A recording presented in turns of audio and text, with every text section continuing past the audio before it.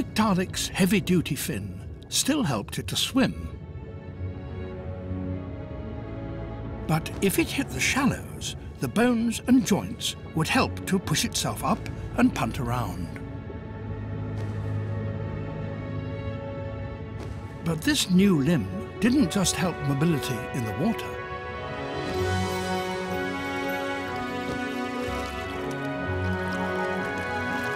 It became the driving force behind one of the most spectacular events in evolutionary history.